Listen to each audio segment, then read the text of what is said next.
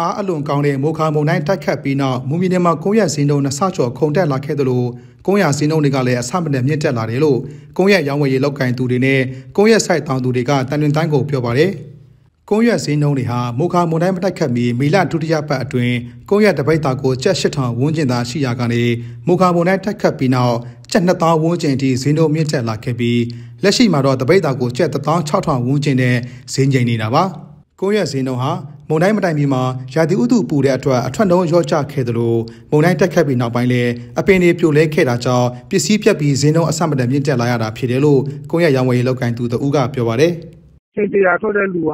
ချိန်30လောက်အဲ့လောက်ပဲထွက်တာပေါ့နော်။အဲ့ဒီအရာဒီမှာတစ်ဆင့်အဲ့ဒါပထမချက်ပေါ့နော်ဒုတိယချက်ဘာဖြစ်သွားလဲဆိုတော့ဒီမုန်တိုင်းဝင်တော့ပုံပြီးနေကြတယ်လေပြူကြတယ်ပေါ့။ဒီတော့အဲ့မှာဒီမြုပ်တော့ပြည်ပြည်ရုပ်ကြီးကျ သွားတာပေါ့ကျသွားတော့ဈေးနှုန်းတွေတက်သွားတာပေါ့အဲ့လိုမျိုးပေါ့။မော်လန်ကအပွင့်ပြေသွားတော့ဒီမှာတော့တော်တော်လေးတော့ခက်ခဲတက်တယ်တော်တော်လေးဖြစ်သွားကြတယ်လေ။ဟိုချုပ်ကွက်တိုင်းဆိုပိတ်လိုက်ရတယ်ပေါ့ဈေးနှုန်းကအရင်မြင့်တော့ဒီကိတာကို2000ရှိတော့ဖြစ်ကုန်တယ်အဲ့လိုမျိုးလေးပေါ့။1900 2000မဖြစ်ဘူးတဲ့ဈေးဖြစ်သွားတာပေါ့နော်။ကြားဘူးတဲ့ဈေးကြားရတယ်ပေါ့။အခုတော့လည်းပြန်ကျလာတယ်ပေါ့။အခုလက်ရှိရတယ်တောင်းစားတာပေါ့။အခုရက်ကတော့ဈေးကအေးဝိုင်းနေသွားပြီလေ။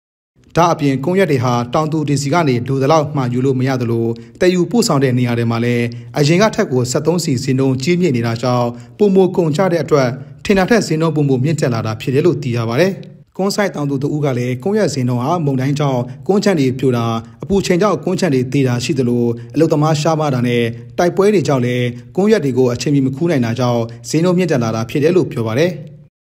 ဒီရက်ပိုင်းကုန်သေးတယ်ဆိုတော့ အဲ့ဒီအဲ့ဒီမုံတိုင်းရောက်လို့လည်း ဖြစ်လို့ရတာပေါ့မန္တလေးဒီဘက်မှာ တချို့ပြူတယ်လေကိုမန္တတွေက ဟောင်းလာတော့ဟိုဒေါမထောက်မိနဲ့တိုင်အစားမလဲမိနဲ့ဟိုမလဲနိုင်နဲ့ အဲ့လိုကုန်းကြနေကြတော့ ပြူတာပေါ့အဲ့တော့ကျွန်တော်တို့မုတ်ကရင်က လေနည်းနည်းပဲလာတော့ မန္တလေး ပြူတယ် အဲ့ဒီ အထက်ပိုင်းမှာလည်းပြူတော့ကုန်းတွေက ခူးလို့မရတော့ဘူးလေ သူက ကျွန်တော်ဒီဘက်က တောင်ပေါ်ကွန်းနေတာတချို့က ဒီနေ့ကအပူဒဏ် တအားများသွားတယ်လေ အပူဒဏ် တအားများသွားတော့ မတက်ရဲလို့ ရေမတက်ပြီးတော့ မသွင်းရဲလို့ဟိုသေတဲ့ကွန်းကြနေတယ်တော်တော်များများ ဖြစ်သွားတယ်အဲနောက်ပြီးတော့ ရေစားလို့ လုံတော့အောင် မသွင်းနိုင်တဲ့ ကွန်းကြနေရလဲတော်တော်များများ ဖြစ်တယ်ပြီးကုန်တာ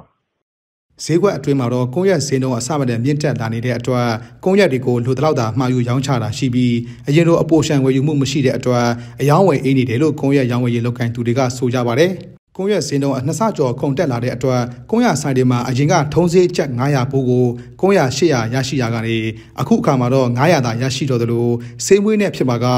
ကုန်းရ100ကိုချက်150ဖြစ်ပေါ်နေတယ်လို့ကွန်းစားသူတွေထံကနေသိရပါတယ်။ မွန်ပြည်နယ်မှာတော့ကွန်ရက်တွေကိုကြိုက်ထုံနဲ့မုံရမြို့နယ်တွေကနေအတိကဝင်ရောက်တာဖြစ်ပြီးဘီလင်းနဲ့ပန်းတတော်မြို့နယ်အပြင်တခြားမြို့နယ်တွေကလည်းမှာယူတင်သွင်းတာတွေရှိနေပါတယ်။